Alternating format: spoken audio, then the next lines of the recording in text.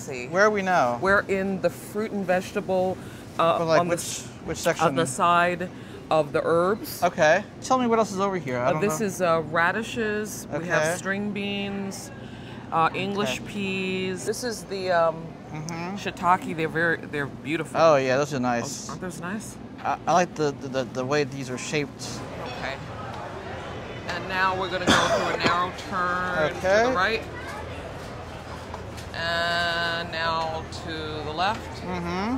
And we are in the olive oil section. Thank you. Oh, okay. So it, This came right off the machine. oh, okay. So okay. it's not sticky at all. Can you mark the fettucci box in some way? I can put them in paper if you want. So the, Yeah. Okay, that'd be great. the fettucci's gonna be in paper. And, Okay. Uh, the tagliatelle is gonna be in a, in a box. Perfect.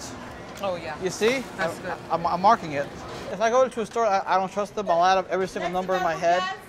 Right now, I feel like I'm kind of at home. All right. Hey, Karen. How are you? Be well All right. always, my Take care of yourself. Thank you. All right, see you soon. Take care. Have a great day. Okay. Okay,